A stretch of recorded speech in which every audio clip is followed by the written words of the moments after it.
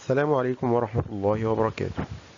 أبنائي وبناتي طلبة وطالبات الصف الثالث الإعدادي بمدرسة رواد المستقبل للغات أهلا ومرحبا بكم في درس جديد من دروس النحو وهو درس بعنوان الممنوع من الصرف.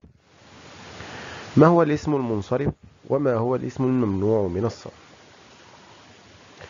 الاسم المنصرف هو الذي تظهر على آخره جميع حركات الإعراب والتنوين مثل أن تقول أصبح محمد محبوبا إن محمدا طالب متميز سلمت على محمد فكلمة محمد في هذه الأمثلة اسم منصرف حيث ظهرت على آخره جميع حركات الإعراب أو التنوين. أما الاسم الممنوع من الصرف هو ما لا يجوز أن يلحقه تنوين ولا كسر إذا لم يكن مضافا. مثل أن تقول الساكت عن الحق شيطان أخرس. من تكلم فيما لا يعنيه كان إنسانا أحمقا. العاقل من لا يتحدث بكلام أحمق. فكلمة أخرس وأحمق هي كلمات ممنوعة من الصرف أو التنوين. متى يمنع الاسم من الصرف؟ الممنوع من الصرف أو التنوين يكون لأسباب. فهذه الأسباب إما أن تكون صيغة منتهى الجموع أو أسماء مختومة بألف التأنيث الممدودة أو أسماء مختومة, مختومة بألف التأنيث المقصورة أو الأعلام أو الصفات. هيا نتناول ذلك بالتفصيل. فينقسم الاسم الممنوع من الصرف إلى قسمين. القسم الأول هو اسم ممنوع من الصرف لسبب واحد ثم القسم الثاني فهو اسم ممنوع من الصرف لسببين أولا الاسم الممنوع من الصرف لسبب واحد ويضم أولا صيغة منتهى الجموع ما المقصود بصيغة منتهى الجموع؟ هي كل جمع تكسير ثالثه ألف زائدة بعدها حرفان أو ثلاثة أوسطها ياء ساكنة مثل مساجد ستائر مدارس معالم. فهنا الألف ثالثة بعدها حرفان فهي ممنوعة من الصرف. أو عصافير تماثيل مفاتيح وهي جمع تكسير أيضا. به ألف بعدها ثلاثة حروف أوسطها ياء ساكنة. طيب إذا لم تكن أو إذا لم يكن أوسطها حرفا ساكنا أي أوسطها متحرك فلا تمنع من الصرف. مثل أن تقول تلامذة وبها فهو جمع تكسير وبه ألف بعدها ثلاثة أحرف ولكن وسط هذه الثلاثة حرف متحرك.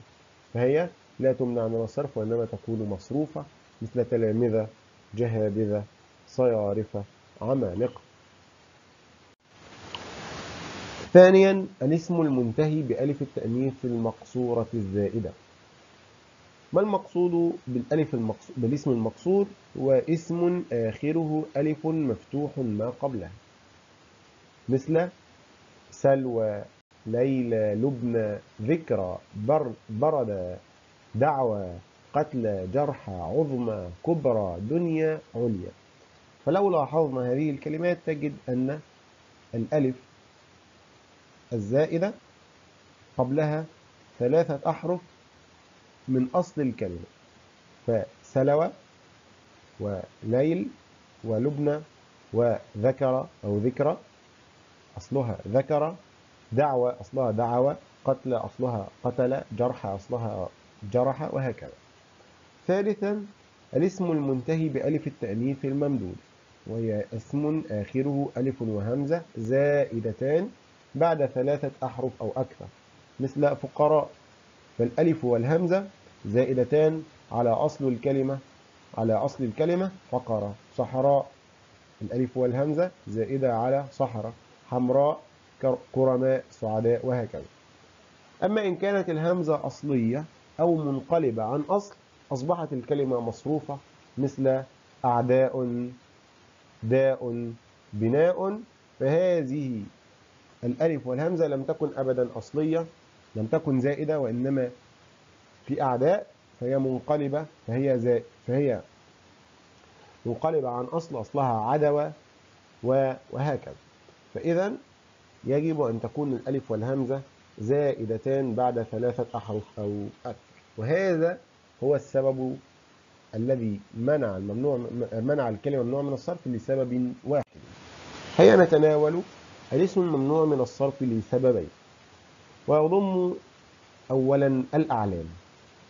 العلم الممنوع من الصرف ويشمل أولا العلم الأعجمي وهو اسم ليس عربيا زائد على ثلاثة أحرف مثل إبراهيم إسماعيل إسحاق يعقوب مايكل لندن فلسطين إسرائيل أكتوبر نوفمبر إلى آخره.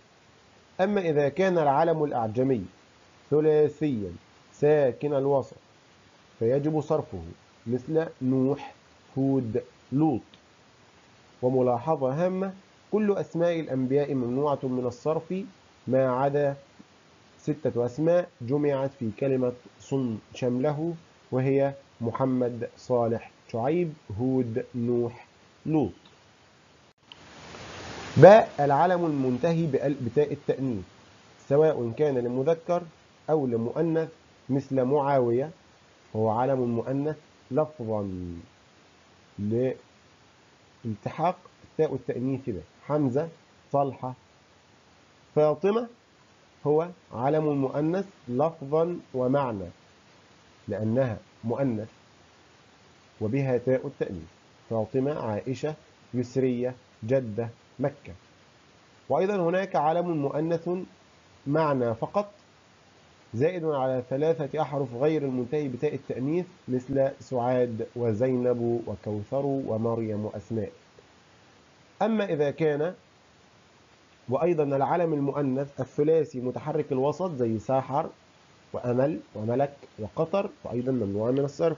أما إذا كان العلم المؤنث ثلاثيا ساكن الوسط فإنه يجوز فيه الصرف ويجوز فيه المنع. مثل هند مصر شمس حسن فيجوز الصرف. كما جاء في القرآن الكريم اهبطوا مصرا فجاءت هنا منونة ويجوز منعها من الصرف مثل أيضا كما جاء في القرآن الكريم ادخلوا مصر. إن شاء الله آمنين.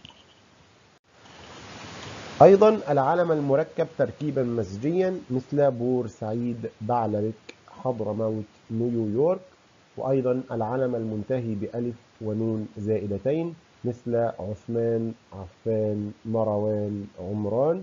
كل هذه أعلام ممنوعة من الصرف لسببين السبب الأول لأنها علم والسبب الثاني إما لأنها مؤنث أو مركب تركيب مزجي أو علم أعجمي أو منتهي بألف ونون زائدتين وهكذا. أيضا العلم على وزن الفعل ومعنى على وزن الفعل أي يجوز استخدامه كفعل ويجوز استخدامه كاسم مثل أحمد الله على التفوق أحمد هنا فعل مضارع مرفوع بالضمة أو كاسم مثل أحمد أخي فهو هنا اسم ممنوع من الصرف ويأتي ذلك أمثال كثيرة مثل أحمد وأشرف ويزيد وتغلب. وأيضا العلم إذا كان على وزن فعل مثل عمر وزحل وهبل وجحا وقزح ومضر وهكذا.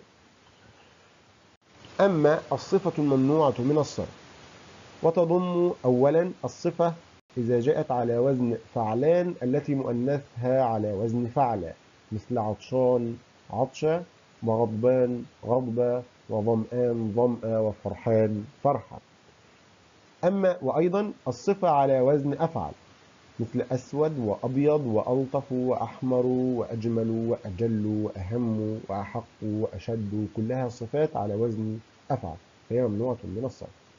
ما جاء أيضا على وزن فعال مفعل وهي من أسماء الأعداد فقط من واحد إلى عشرة مثل أحاد موحد وثناء مثنى وثلاث مثلث ورباع مربع وهكذا إلى عشار معشر. كأن تقول وقف الطلاب ثلاث ورباع. وأخيرا الصفة على وزن فعل وليس منها إلا كلمة واحدة وهي كلمة أخر جمع كلمة أخرى فهي دائما ممنوعة من الصرف. ما هو إعراب الممنوع من الصرف؟ الممنوع من الصرف إذا كان معرفا بأل أو بالإضافة يرفع بالضمة وينصب بالفتحة ويجر بالكسرة مثل أن تقول صليت بالمساجد الأثرية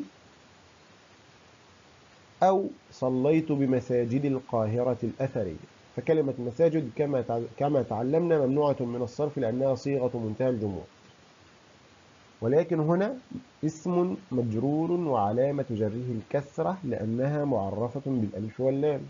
وفي المثال الثاني اسم مجرور وعلامة جره الكسرة لأنها معرفة بالإضافة.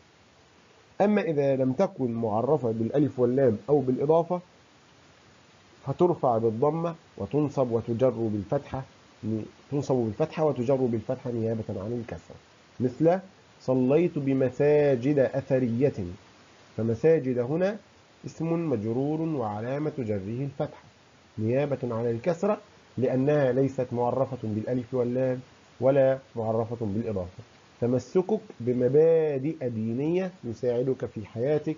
فمبادئ هنا مجرورة بالفتحة نيابة عن الكسرة لأنها غير معرفة بالإضافة ولا معرفة بالألف واللام. وإلى هنا أبنائي وبناتي نكون قد وصلنا إلى نهاية درسنا اليوم. السلام عليكم ورحمة الله وبركاته.